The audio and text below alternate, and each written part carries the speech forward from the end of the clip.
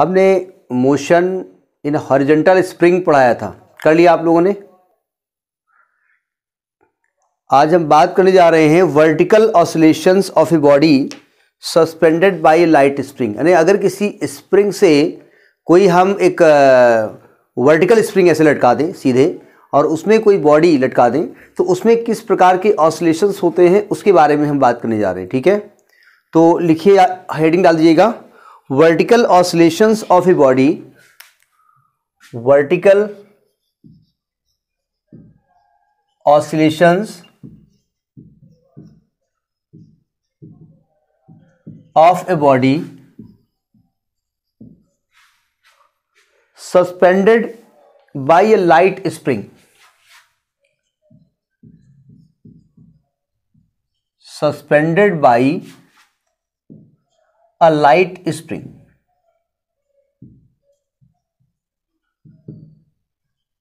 जरा समझने की कोशिश करिएगा।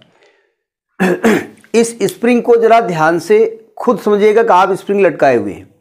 देखिए, आप एक स्प्रिंग ले लीजिए ऐसे, और ऐसे ये स्प्रिंग है। इसका फोर्स कांस्टेंट हम के मान लेते हैं। फोर्स कांस्टेंट क्या होता है? फोर्स कांस्टेंट क्या बताया गया था आपको?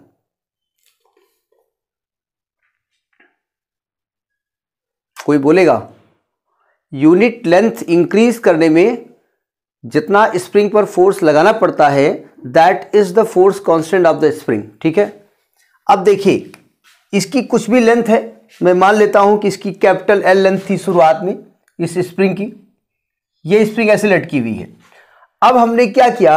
इसमें एक बॉडी लटका दी जिसका मास एम था। तो सिंपल सी बात है स्प्रिंग की थोड़ी सी लंबाई बढ़ जाएगी। ये स्प्रिंग की थोड़ी सी लंबाई बढ़ गई। यहाँ पर एक बॉडी लटकी हुई है और ये बॉडी का वेट नीचे की ओर काम कर रहा है। और मैंने मान लिया कि, कि इस स्प्रिंग की लेंथ में स्मॉल एन इंक्रीमेंट होता है स्मॉल एल अब बताइए इस पर रीस्टोरिंग फोर्स किधर की ओर काम करेगा?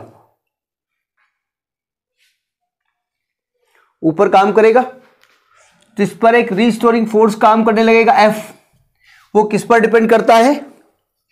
लेंथ के इंक्रीमेंट पे। जितना ज़्यादा इंक्रीमेंट करोगे लेंथ उतना ही रिस्टोरिंग फोर्स काम करेगा। तो एफ़ इज़ इक्वल टू क्या होगा? माइनस के एल एम राइट हमने बताया था कि एफ़ प्रपोर्शनेट एल होता है, और F is equal to minus K L where K is what K is a force constant of spring force constant है। अब ये बताइए, क्या हाँ हाँ स्प्रिंग कांस्टेंट भी कहते हैं।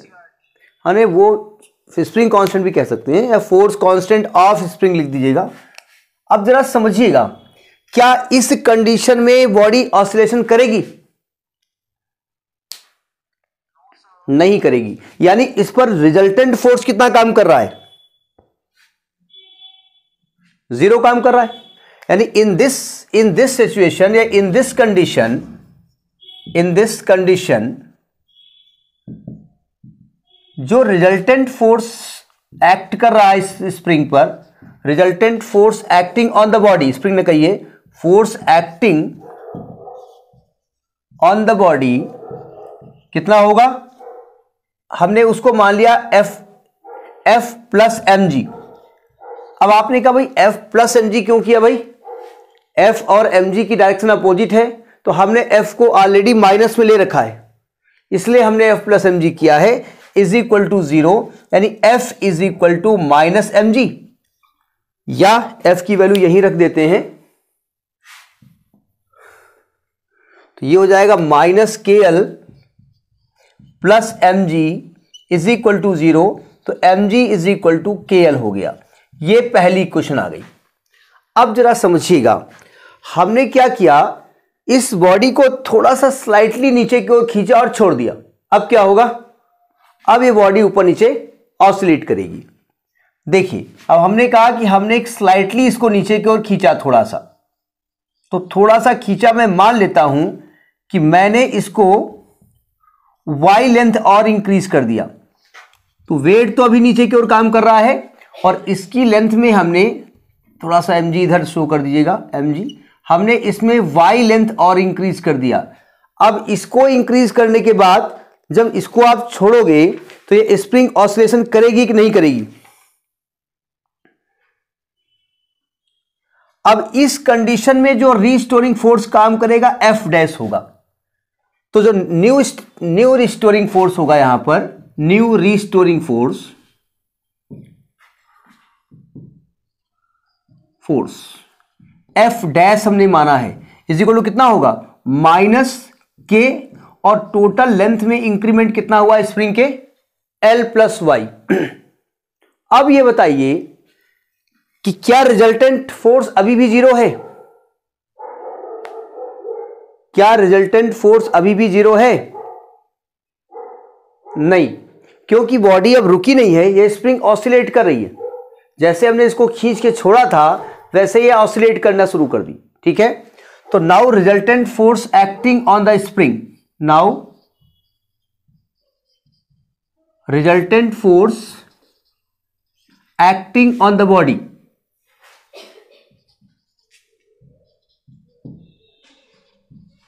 on the body कितना होगा?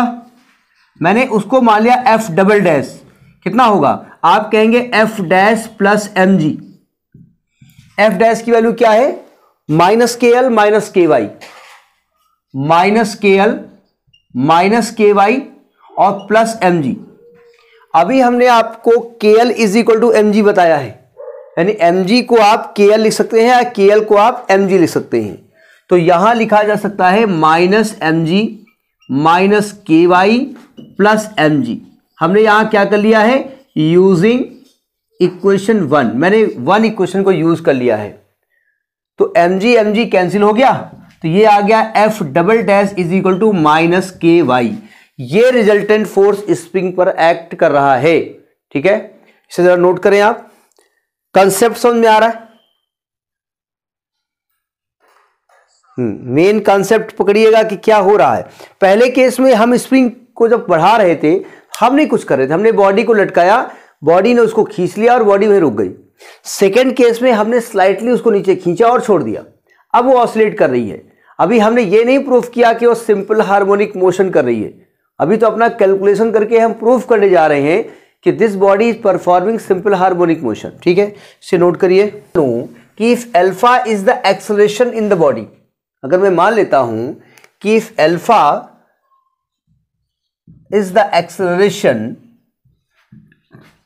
in the body कि बॉडी में जो एक्सलेशन है वो एल्फा है। तो एफ़ डबल डैश को लिख सकते हैं आप M alpha is equal to minus K Y तो एल्फा की वैल्यू आ गई माइनस के अपान एम वाई जरा ध्यान से देखिए K is a force constant वो ऑलरेडी कांस्टेंट वैल्यू है। M is the mass of the body वो कांस्टेंट होता है। तो alpha proportionate minus Y acceleration is proportional to displacement and negative sign indicate that it is opposite to the displacement ये condition किसकी होती है? जहाँ पर एक्सलरेशन डिस्प्लेसमेंट के प्रपोर्शनेट होता है और उसकी डायरेक्शन के अपोजिट होता है, ये कंडीशन किसकी पढ़ाई गई है? आपको याद होगा सिंपल हार्मोनिक मोशन की पहली कंडीशन वही थी ना, कि बॉडी एक तो लीनियर मोशन करे टू एंड फ्रो और दूसरे जो उस पर रीस्टोरिंग फोर्स या एक्सिलरेशन एक्ट करे वो डिस्प्लेसमेंट के प्रपोर्शनल होना चाहिए, है ना? तो दिस शोज़ दैट ये क्या शो कर रहा है? That the motion of the body is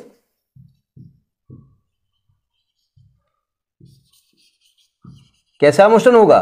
simple harmonic motion ये हमने प्रूफ करके दिखाया। ठीक है डायग्राम नोट कर लिया होगा। अब हमको इसका टाइम पीरियड निकालना है।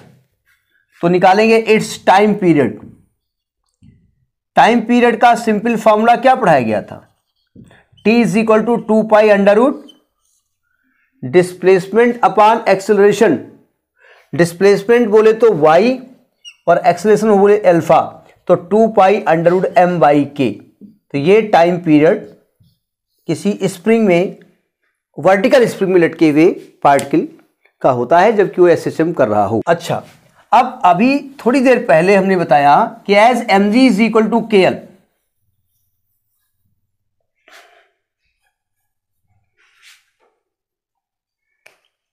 as M G is equal to K L यानी अगर मैं के को गायब करना चाहूँ तो आएगा एम जी अपान एल तो यहाँ पर उठा रख दीजिए टाइम पीरियड में। तो टाइम पीरियड का एक और फॉर्मूला जाएगा two pi under root M M है और इसकी वैल्यू आएगी एम जी अपान एल तो ये आएगा two pi root L by G ये time period of simple pendulum है। ये एल क्या है? जो आपने पहले इंक्रीमेंट किया था बॉडी के लटकाने पे। जब बॉडी शुरुआत में लटकी थी तो जो इंक्रीमेंट हुआ था एल वो एल है।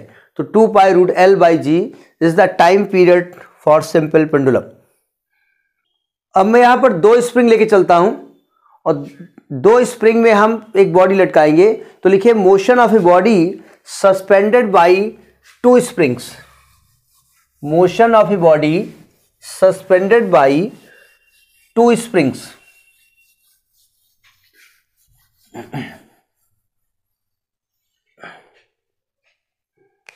देखिए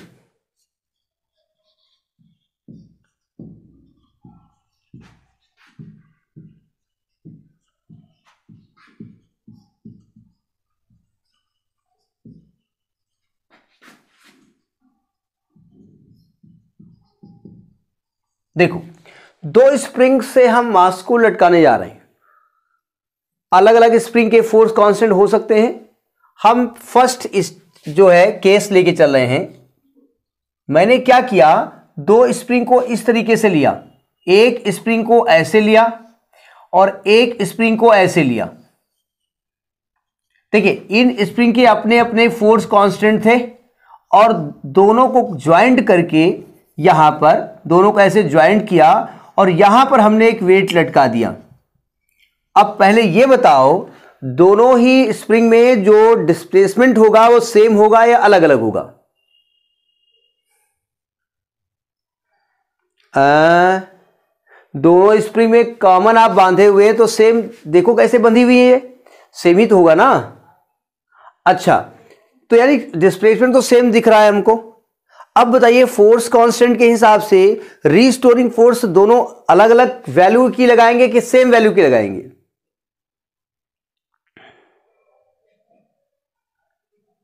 चूँकि रीस्टोरिंग फोर्स होता है माइनस के वाई और के दोनों का अलग अलग है तो रीस्टोरिंग फोर्स दोनों अलग अलग लगाएँगे, लेकिन दोनों रीस्टोरिंग फोर्स की डायरेक्शन क्या होगी? ऊपर की ओर होगी? तो जो नेट रीस्टोरिंग फोर्स होगा, हम मान लेते हैं कि let Y be the displacement y be the displacement of both springs दोनों स्प्रिंग का जो डिस्प्लेसमेंट है वो वो y होगा, हम जानते हैं। तो जो टोटल रिस्टोरिंग फोर्स काम करेगा यहाँ पर total restoring force F is equal to minus K one Y minus K two Y minus K one plus K two Y F is equal to आपको दिख रहा है ये फॉर्मूला बिल्कुल पीछे वाली तरह है तो इसको लिख सकते हैं F is equal to minus K Y जहाँ के क्या है? Where K is equal to K one plus K two. ये क्या है? ये है इक्विवेलेंट फोर्स कांस्टेंट हमको यहाँ ये नहीं प्रूव करना है कि इसका जो मोशन एस एच एम होगा, ये हम जानते हैं। स्प्रिंग के केस में हमने प्रूव कर दिया है कि वर्टिकल स्प्रिंग में अगर कोई मास लटकाते हैं तो उसका जो मोशन होता है एस एच एम होता है, ये हम जानते हैं। तो जब इसका टाइम पीरियड निकालेंगे इट्स टाइम पीरियड तो हमने बताया T is equal to two pi root M by K K का मान रख दो, ये अपान है ध्यान रखिएगा कंफ्यूज मत होइएगा एम बाई के तो two pi under root M by K बोले तो के वन प्लस के टू।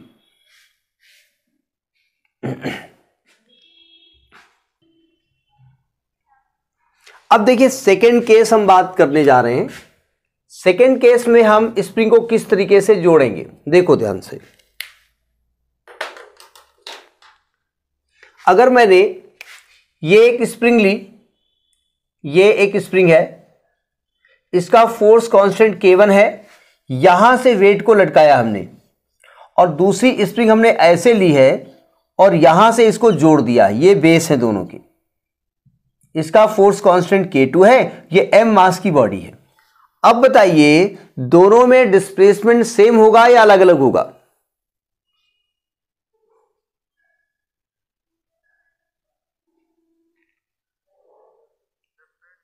डिफरेंट वेरी गुड और कोई आंसर ऐसे सोचा कि आपने कुछ दिमाग लगाया। और कोई आंसर अच्छा। वेरी गुड और कोई? अर्णो साहब, आप हैं? आज नहीं है। जरा सुनिए ध्यान से। ये डायग्राम तो क्लियर दिख रहा होगा ना? आपने दोनों स्प्रिंग को पकड़ रखा है। अगर आप इस मास को नीचे की ओर धक्का मारोगे तो जितना इस वाली स्प्रिंग की लेंथ बढ़ेगी, उतना ही तो कंप्रेस होगी ना? नहीं होगी। भाई, एक स्प्रिंग पे आप खड़े हो जाइए और एक स्प्रिंग पकड़ लीजिए। तो जितना वो खींचोगे, उतना ही तो नीचे दबेगी। सही कह रहा हूँ मैं?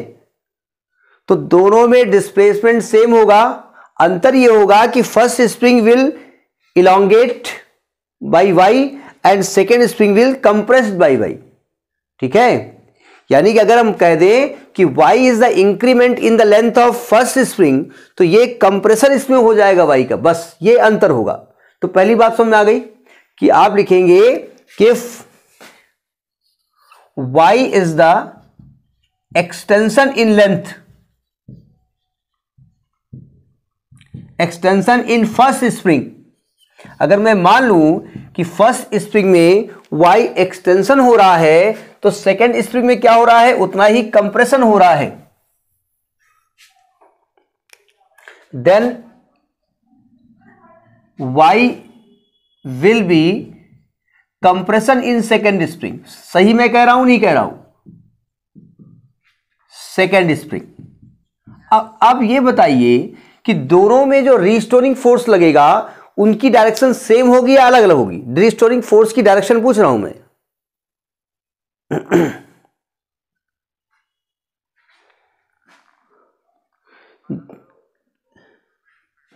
आप कुछ सोच के बोल रहे हो कि बस जल्दी बोलने के लिए बोल रहे हो? ये बताइए एक सेकेंड ये स्प्रिंग की लंबाई खींच रही है, ये क्या करेगी? इस बॉडी को किधर की ओर खींचेगी? पहली वाली स्प्रिंग की लंबाई खींच रहे हो तो ये स्प्रिंग बॉडी को किधर की ओर खींचेगी? यानी कि पहली वाली ऊपर की ओर खींचेगी F1 और नीचे वाली जो बॉडी है, उसको कंप्रेस कर रहे हो, ये किधर धक्का मारेगी? ऊपर लगेगी ना? तो अब बताइए रिस्टोरिंग फोर्स डायरेक्शन सेम है कि अलग अलग है? थोड़ा सा, देखिए, थोड़ा सा सोचिए, वहाँ पर पहुंचिए आप बॉडी के पास। सोचिए क्या हो एक्शन क्या हो रहा है, ठीक है? तो जो टोटल रिस्टोरिंग फोर्स काम कर रहा है टोटल रिस्टोरिंग फोर्स जो काम कर रहा है यहाँ पर, F is equal to minus K one Y minus K two Y both the restoring force are in the same direction हाँ, दोनों अपोजिट अपोजिशन कर रहे हैं। ये वाली स्प्रिंग अपने इलांगेशन को अपोज कर रही है। अपने पुरानी स्टेट में आने का प्रयास करती है, इसलिए अपने आप को खींचती है ऊपर की तरफ़। और ये वाली स्प्रिंग कंप्रेस कर रहे हो तो उस कंप्रेशन को अपोज करती है, इसलिए वो ऊपर की ओर धक्का मार रही सही मैं कह रहा हूँ, नहीं कह रहा हूँ? तो ये आ गया minus K one plus K two Y देखो फिजिक्स फील करने वाली होती है। You have to experience it कि हो क्या रहा है यहाँ पर एक्शन क्या हो रहा है?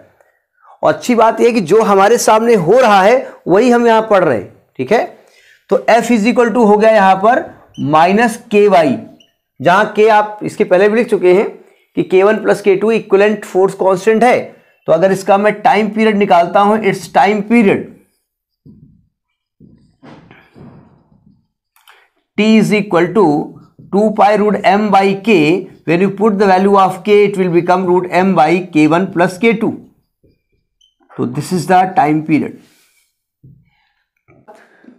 अब जरा एक और केस इसमें आता है थर्ड केस अगर मैं सीरीज़ में दो स्प्रिंग्स लगा देता हूँ, हमने कल बताया था, जैसे टग ऑफ़ वार होता है तो सभी लोग उस, जो थ्रेड होती है, उस पर रस्सी जो होती है सेम फोर्स लगाते हैं। हाँ उसके हिसाब से उनका डिस्प्लेसमेंट कम ज़्यादा हो सकता है। खैर, मैं देख रहा हूँ थर्ड केस में कैसे बनाता हूँ तो समझिएगा। थर्ड केस ये एक स्प्रिंग है इसके नीचे मैंने एक और स्प्रिंग जोड़ दी है, और यहाँ पर मैंने एक वेट लटकाया है एम जी ये दो स्प्रिंग है। इसका फोर्स कांस्टेंट के वन है, इसका के टू है। अब देखिए प्रैक्टिकली, जब ये बॉडी खींचेगी तो पहले इसको खींचेगी, फिर ये इस पर फोर्स लगाएगी, इसको खींचेगी। तो क्या दोनों में डिस्प्लेसमेंट सेम होगा? यहाँ पर नहीं। तो अगर मैं मान लू कि y1 is the displacement in first spring. यानी अगर मान लें कि Y one is the displacement displacement को या एक्सटेंशन इन लेंथ को, जो भी लैंग्वेज आप लिख दो is the displacement in first spring and y2 is in the second in the second अगर मैं मान लेता हूँ तो आप टोटल डिस्प्लेसमेंट हो जाएगा y1 one plus Y two लेकिन इन दोनों केसेस में हमने पहले भी केस बताया था कि फोर्स सेम लगता है। दोनों ताकत सेम लगाएँगी, ठीक है? तो अगर मैं रिस्टोरिंग फोर्स फ़र्स्ट के लिए मानता हूँ तो F is equal to minus K one Y one तो यहाँ से, यहाँ इससे निकालेंगे क्या? वाई वन निकालेंगे। तो माइनस एफ़ अपान के वन निकलेगा। और जब वाई टू निकालेंगे तो आएगा minus F upon K two इस वाई वन वाई टू की वैल्यू उठाइए और इक्वेशन नंबर वन में पुट कर दीजिए। Putting Y one and Y two in equation 1 so that will become y is equal to minus f upon k1 minus F upon K two तो यहाँ से minus F common हो गया। इसमें एल्सियम ले लेंगे तो ये आएगा K one plus K two upon K one K to तो यहाँ से जो एफ़ की वैल्यू निकलेगी, वो निकलेगी माइनस के one K two upon K one plus K two into Y दिख रहा होगा ये कुछ फोर्स कांस्टेंट टाइप की चीज़ लिखी हुई है तो इसको लिखेंगे F is equal to minus K Y where K is this much equivalent force constant और जब इसका हम टाइम पीरियड निकालेंगे टी तो two pi under root M by K K की वैल्यू रख दो उठा करके। एम बाई के है, इसको पलट के लिखना पड़ेगा। तो ये आ जाएगा आपका K one plus K two upon K one K to ये आपका टाइम पीरियड हो गया। तो this is the third case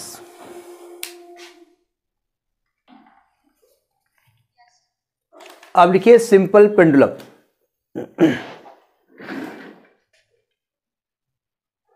simple pendulum simple pendulum का एक्सपेरिमेंट भी कराया जाता है कुछ कॉलेजेस में। उसे अलेवेंथ में जाता एक्सपेरिमेंट लोग कराते नहीं हैं। क्योंकि लगता है ना कि हमको जो खुद ही होम एग्ज़ाम में नंबर देना इसलिए कराते नहीं लोग। बहुत जगह कराया जाता है। देखिए सिंपल पेंडुलम क्या होता है? कहते हैं, जब एक एक पॉइंट मास को किसी स्ट्रिंग से लटका दिया जाए स्ट्रिंग एक धागे से लटका दिया जाए, और स्ट्रिंग कैसा होना चाहिए? एक तो वेटलेस होना चाहिए।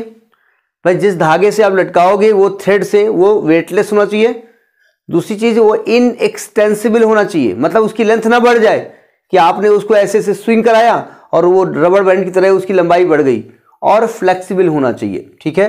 तो जो अरेंजमेंट होता है, उसको हम कहते हैं सिंपल पेंडुलम। ये एक एक बेस है। इसमें से एक हमने थ्रेड लटका दिया है ऐसे एल लेंथ की, और इसमें एक हमने एक मास पार्टिकल बाँध दिया इसको हम बॉब कहते हैं। बी ओ बी बॉब कहा जाता है। ठीक है? और इसको हमें ऑसिलेट कराना है। तो ये जो अरेंजमेंट है, इसमें जो थ्रेड लगाई गई है, ये फ्लेक्सिबल है। इनएक्सटेंसिबल है। मतलब ये नहीं कि ये बिल्कुल एकदम से जब नीचे ऐसे ऑसिलेट करे तो इसकी लंबाई बढ़ जाए और ये फ्लेक्सिबल इनएक्सटेंसिबल और वेटलेस है। अब जरा समझिएगा। ये जब ऑसिलेट कर रहा है तो इसका टाइम पीरियड हमको निकालना है। बस यही कॉन्सेप्ट है। इसको जरा अपने मीन पोजीशन से ऐसे ले जाइए, थोड़ा दूर। हमने कहा इसको थीटा एंगल से हमने घुमा दिया। ये ध्यान रखिएगा, जो थीटा होता है ना ये आप बहुत कम रखेंगे। वह five degree ten degree fifteen degree बस। ये नहीं कि आपने बॉब को पकड़ा और ऐसे ऐसे ऑसलेट करा रहे हैं, ये झूला झुला रहे हैं। नहीं चलेगा। उसका रीजन मैं भी बता रहा हूँ। ठीक है? अब हमने इसको थीटा एंगल से ऐसे घुमा दिया। जब यहाँ पर ये बॉब पहुँचा तो यहाँ पर इसका वेट जो है वो नीचे की ओर एक्ट करेगा और ये स्ट्रिंग का टेंशन एक्ट करेगा। और ये एंगल कितना होगा जरा बताएँ?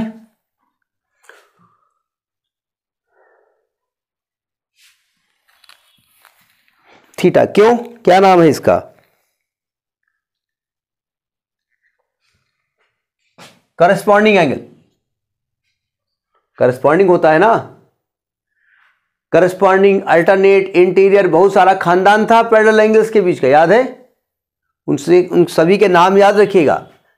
अच्छा थीटा से लगा हुआ जो एम का कंपोनेंट होता है, वो क्या होता है? M G cos theta. हमने कहा था, थीटा से लगा हुआ कॉस होता है। हमने वैसे तो बता, पढ़ा है कि हॉरिजेंटल कंपोनेंट कॉस और वर्टिकल कंपोनेंट साइन लेकिन, थीटा से लगा हुआ कॉस होता है और इसके परपेंडिकुलर ये साइन होता है एम जी साइन थीटा। अब बताइए, यहाँ पर कौन वेट का मतलब फोर्स एमजी बोले तो फोर्स यहाँ कौन है जो इस बॉब को अपनी मीन पोजीशन की ओर लाने का प्रयास कर रहा है? नहीं नहीं नहीं, वो तो एक अलग बात है। यहाँ पर कौन सा फोर्स ये एक्स डिस्प्लेसमेंट है ये। यहाँ पर कौन सा फोर्स लग रहा है जो इसको इधर क्यों लेके आ रहा है? M G sine theta M G sine theta की डायरेक्शन किधर की ओर है? मीन पोजिशन की तरफ़ है ना?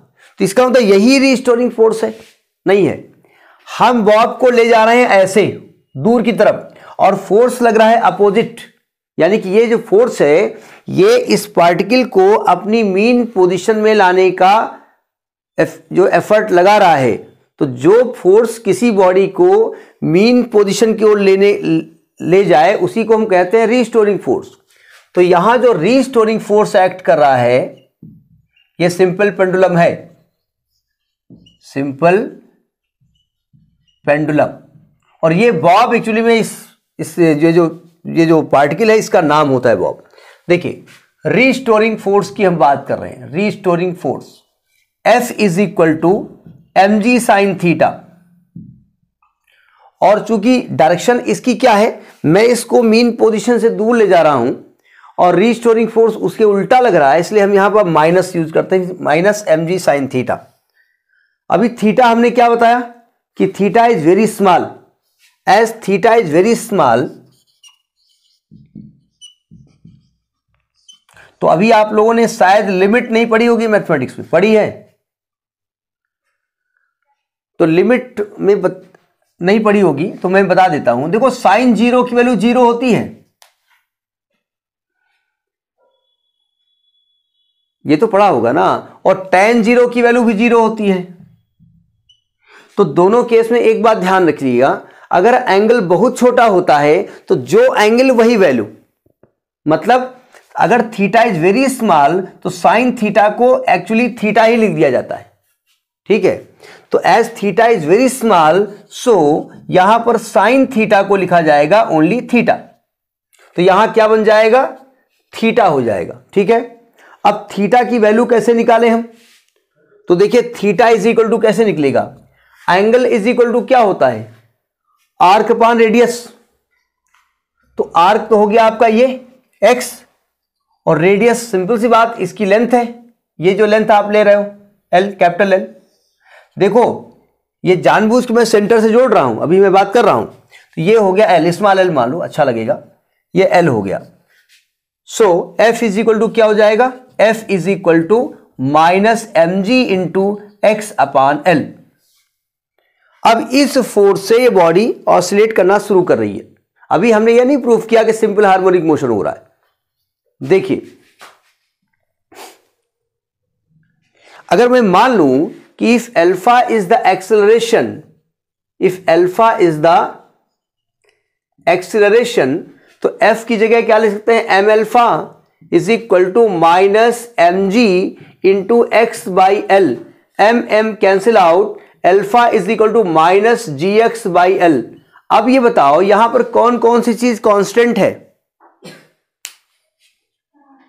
कौन कौन सी चीज़ कांस्टेंट है? जी कांस्टेंट है और एल कांस्टेंट है। तो एल्फा प्रोपोर्शनेट माइनस एक्स क्या प्रूफ हो गया?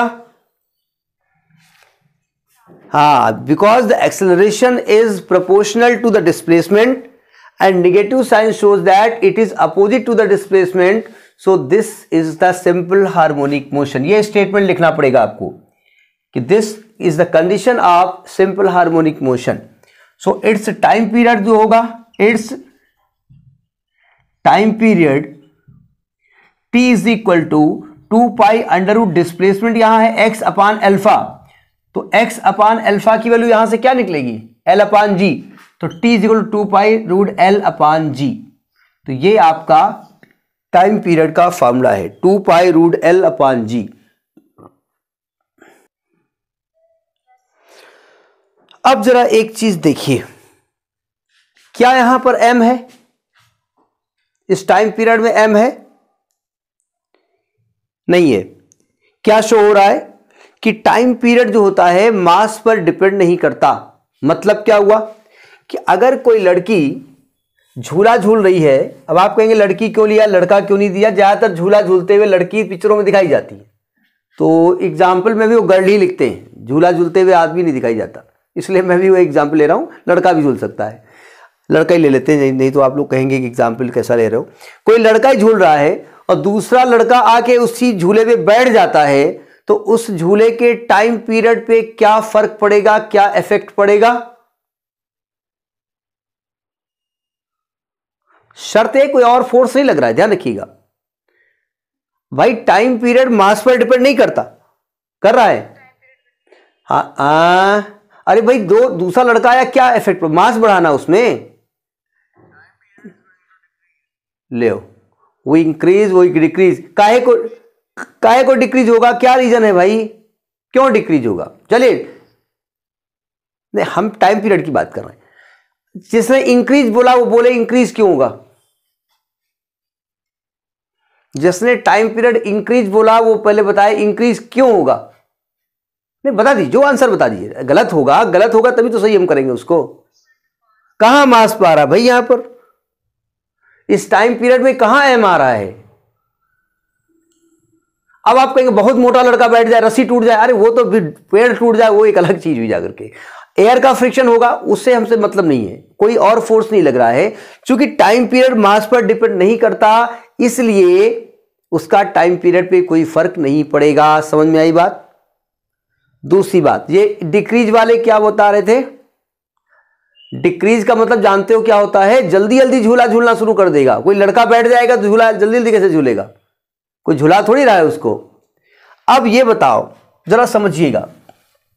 तो ये समझ में आया कि कोई भी व्यक्ति उसमें बैठ जाएगा टाइम पीरियड पे कोई फ़र्क नहीं पड़ेगा। अब जरा समझिए क्या एक चीज़ और।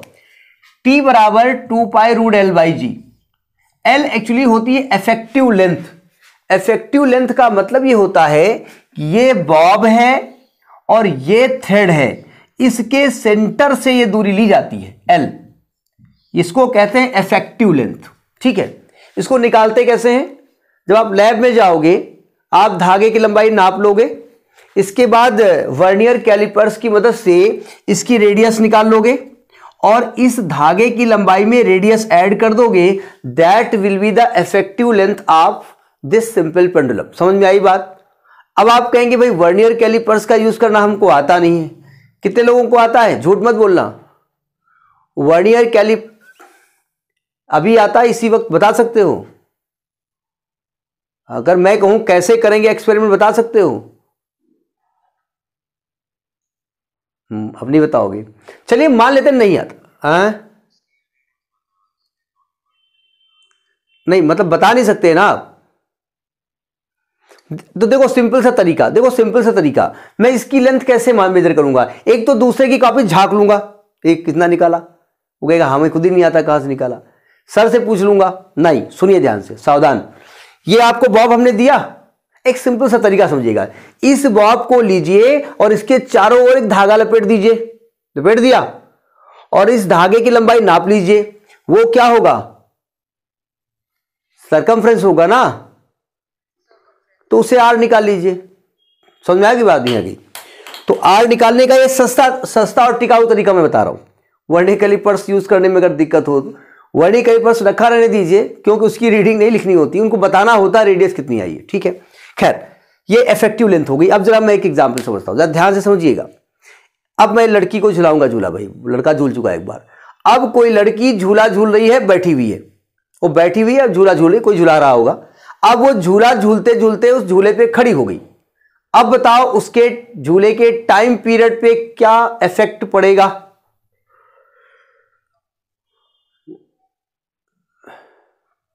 क्यों?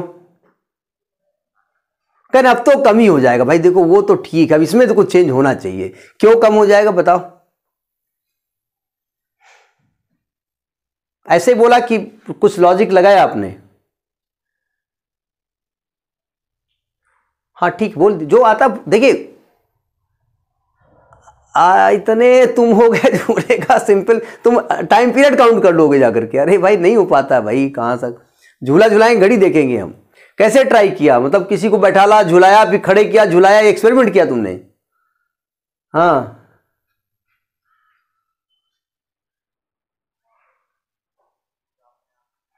देन एक मिनट एक मिनट। झूला रुकने के कई कारण हैं। हो सकता है फ्रिक्शन की वजह से भी रुक जाता है। ठीक है। चलिए, अब यहाँ लड़की को झुला रहे हैं, इसलिए कोई गर्ल ही देगी आंसर। बताओ तुम लोग, बताओ भाई, क्या आपने सोचा?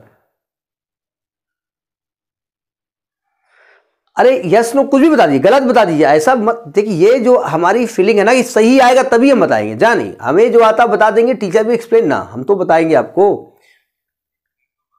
नहीं, क्यों? अब मैं बता रहा हूँ, अब अब मैं बता रहा हूँ, मैं बता रहा हूँ। लेंथ कहाँ से ली जाती है? बॉडी के सेंटर ऑफ़ मास से, ठीक है?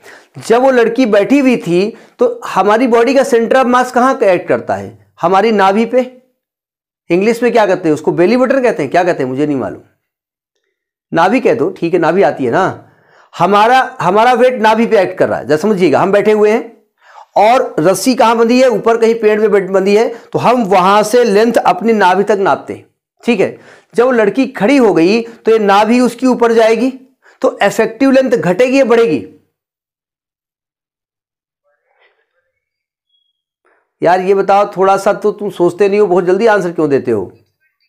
थोड़ा सोचा करो भाई। देखिए, हम कितना जल्दी जवाब देते हैं, ये मान, ये बताओ भाई, वो पेड़ पे पेड़ तो ऐसे है ना, चलो यहाँ पेड़ दिखा देते हैं। ये पेड़ है, ये मेरी नाभि है, अब मैं ऐसे बैठा हूँ, अब मैं खड़ा हो गया, अब पेड़ थोड़ी ऊपर चला जाएगा। तो अगर मैं बैठ जाऊँ नीचे, ऐसे बैठता हूँ तो ये लेंथ बढ़ जाएगी, जब मैं खड़ा हो जाऊँगा तो मेरी नाभि ऊपर आ गई, और पेड़ तो वहीं पर है तो लेंथ घटी या बढ़ी?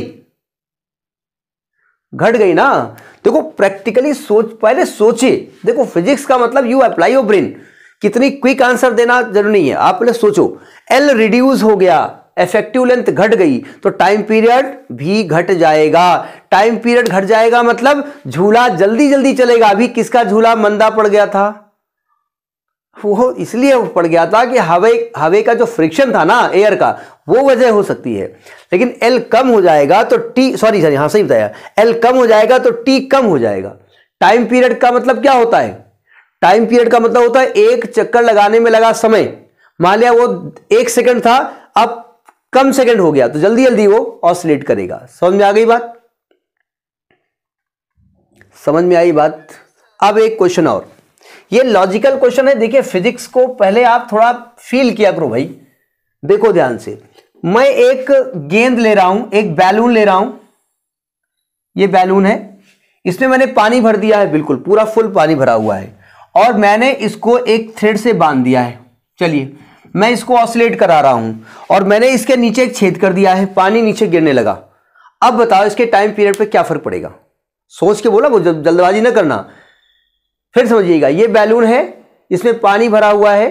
अब आप कहेंगे तो फट जाएगा, ये ये फटा नहीं है, ये मोटा वाला बैलून है। इसमें पानी भरा हुआ है फुल, और हमने इसको एक थ्रेड से बाँध के ऑस्टिलेट करा दिया है, और मैंने इसके नीचे एक छेद कर दिया है। धीरे धीरे पानी इसमें गिर रहा है, इसके टाइम पीरियड पे क्या फ़र्क पड़ेगा? सोच के बोलिएगा, फिर मैं समझाता हूँ।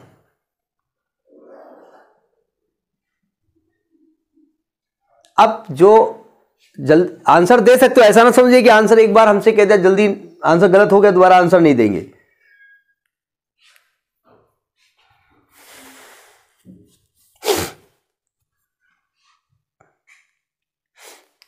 बताएँगे? मैं बताऊँ। ये बैलून है, it is full of water इसमें पानी भरा हुआ है। और मैंने इसको लटका करके इसको हमने ऑसिलेट करा दिया है। और इसमें नीचे थो, थोड़ा सा छेद कर दिया है। अब बताना छेद मतलब पानी गिरेगा। अब आप कहेंगे आपने ये तो नहीं कहा कि पानी गिर रहा है छेद से नहीं गिर रहा है। तो अब बताओ इसके टाइम पीरियड पे क्या फ़र्क पड़ेगा?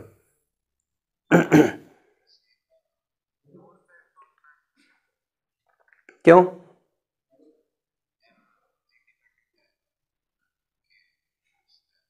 आप मुझे सुने ध्यान से सावधान। देखो बहुत ध्यान से समझिएगा जब ये पूरा बैलून भरा हुआ था तो उस समय इसका पूरा सेंटर ऑफ़ मास यहाँ पर एक्ट कर रहा था। सही बोल रहा हूँ मैं? अच्छा अब जब ऊपर से पानी खाली होने लगा, नीचे वाटर भरा हुआ है तो सेंटर ऑफ़ मास नीचे खिसकेगा कि नहीं खिसकेगा? नीचे वेट ज़्यादा है ना? मैं मास की बात नहीं कर रहा हूँ, मैं सेंटर ऑफ़ मास की बात कर रहा हूँ। तो इस, इसका सेंटर ऑफ़ मास नीचे खिसकना शुरू हो जाएगा। यानी जो इफ़ेक्टिव लेंथ आपकी एल सेंटर से थी धीरे धीरे बढ़ने लगी। तो अब टाइम पीरियड का फार्मूला होता है two pi root L by G जब एल बढ़ने लगा तो टाइम पीरियड भी बढ़ने लगेगा। सही कहा मैंने। अब देखो, ये बैलून हो गया आधा। अब यहाँ मैं मान लेता हूँ सेंटर ऑफ़ मास यहाँ पहुँच गया था, है ना? अब देखो आगे क्या एक्शन होता है। अब जब ये पानी और खाली होगा तो क्या होगा? नीचे पानी कम होता जाएगा, ऊपर का पोर्शन बढ़ना शुरू हो जाएगा एयर अब नीचे आधे से क्या हो रहा है? कि आधे से पानी खाली हो रहा है तो ये सेंटर मास फिर ऊपर चढ़ेगा। क्योंकि ऊपर का पोर्शन ज़्यादा हो रहा है ना, नीचे एयर एयर बढ़ती जा रही है ना तो अब धीरे धीरे यह ऊपर बढ़ेगा। तो टाइम पीरियड घटना शुरू हो जाएगा। और जब बैलून पूरा खाली हो जाएगा तो सेंटर ऑफ़ मास कहाँ पहुँच जाएगा? जहाँ पर पहले था तो इसका टाइम पीरियड फिर वही हो जाएगा। अब आप कहेंगे, भाई साहब, जो बता रहे हो आप, सर जी, तब तक तो ये रुक जाएगा। वो मैं मानता हूँ रुकेगा नहीं। मैं मान लेता हूँ कि कोई अदर फ्रिक्शन फोर्स नहीं लग रहा है इस पर। समझ में आई बात?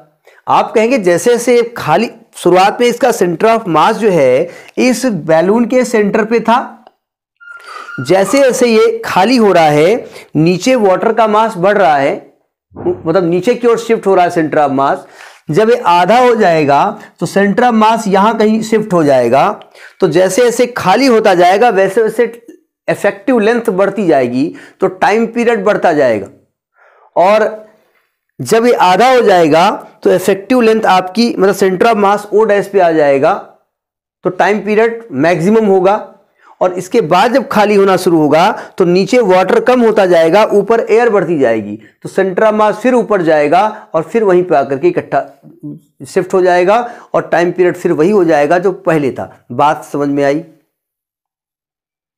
अच्छा दूसरी बात हमने कही कि भाई आप जो ऑसिलेशन करा रहे हो, हमने कहा भाई ये जो ऑसिलेशन आप करा रहे हो सिंपल पेंडुलम का, ये आपका दो तीन चार डिग्री होना चाहिए, ज़्यादा नहीं होना चाहिए। क्यों भाई, ऐसा क्यों? देखो कारण। सिंपल हार्मोनिक मोशन की पहली कंडीशन क्या थी? कि the motion should be in a straight line, that should be to and to and fro motion along a straight line. सही तो हमने कहा ना? अगर आप बहुत ज़्यादा ऑक्सीजन करा दोगे तो ये पाथ कैसा हो जाएगा? कर्ड हो जाएगा ना?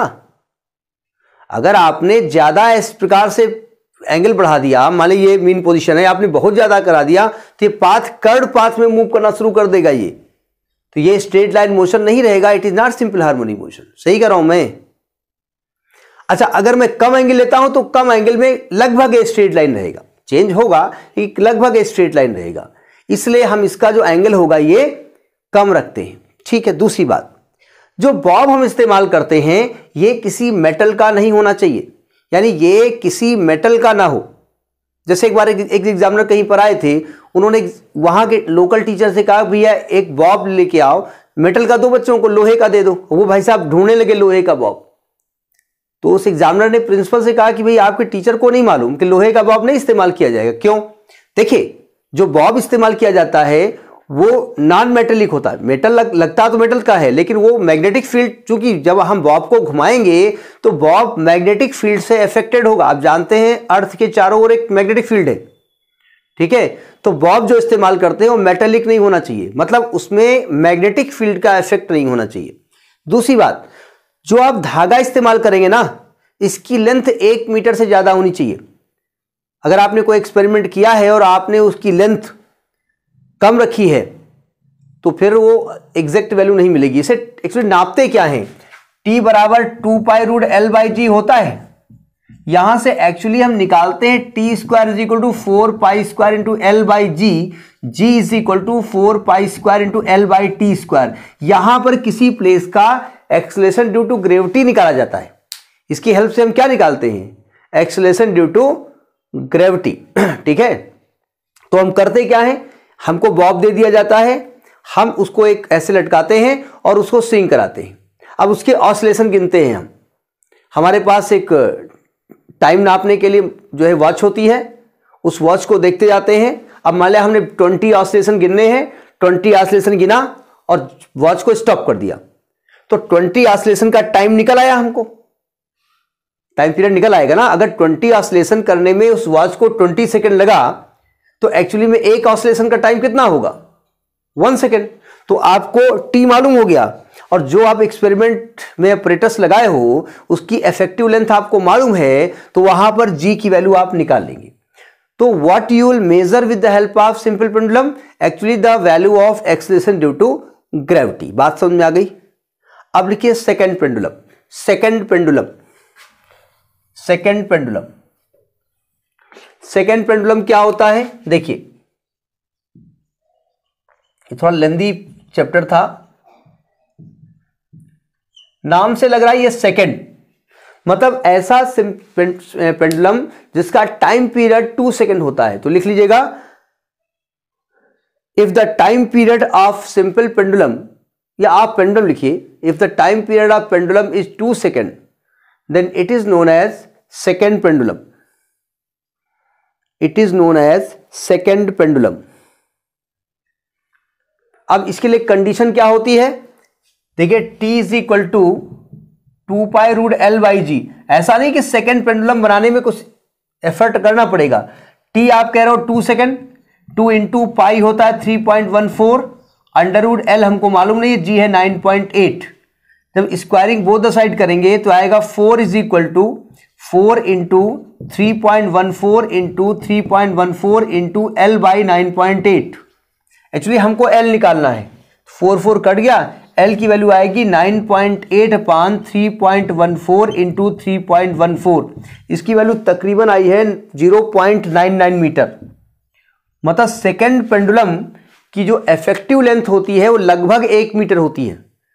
यानी अगर आप एक मीटर का इफ़ेक्टिव लेंथ बोल रहा हूँ, ध्यान रखिएगा, ये धागे की लंबाई नहीं है। This is the length from the centre of mass of the pendulum मतलब जो आप पेंडुलम बाँध रहे हो, उसको आप कहाँ से ऐड करोगे? तो आप ऐसा कुछ एडजस्ट करोगे, ये बॉब और ये धागा, ये थ्रेड यहाँ से लेकर के टोटल ये तकरीबन 0.99 मीटर जब लोगे, या तकरीबन 1 मीटर लोगे, और उसको ऑसिलेट कराओगे तो उससे जो टाइम पीरियड मिलेगा वो टू सेकेंड मिलेगा, ये सेकेंड पेंडुलम होता है, ठीक है? अब आप जानते हैं, ग्रेविटी में आपको पढ़ाया भी गया होगा कि अर्थ के ऊपर बहुत हाइट पे जाओगे तो वहाँ जी की वैल्यू घट जाती है। तो जब आप टी बराबर टू पर रूट एल बाई जी करोगे और जी घटा दोगे तो टाइम पीरियड बढ़ जाएगा। मतलब कोई घड़ी, अगर पेंडुलम वाली घड़ी है, देखा होगा पेंडुलम वाली घड़ी? टिक टिक टिक टिक, कैसे होती है? तो अगर वो पेंडुलम वाली घड़ी आप लेके हिल एरिया पे जाते हो तो वहाँ सुस्त पड़ जाती है, धीमी पड़ जाती है बिकॉज़ पेंडुलम की वैल्यू जी पर डिपेंड करती है। या अर्थ के बहुत गहराई में आप जाते हैं, जैसे माइंस वगैरह होती हैं कोल माइंस वगैरह उसमें जाते हो तो वहाँ भी जी की वैल्यू घट जाती है तो वहाँ भी टाइम पीरियड बढ़ जाता है, यानी कि वहाँ जो घड़ी होती है, जो एक घंटे में चक्कर लगाएगी, वो शायद डेढ़ घंटे में चक्कर लगाएगी, सुस्त पड़ जाती है, ठीक है?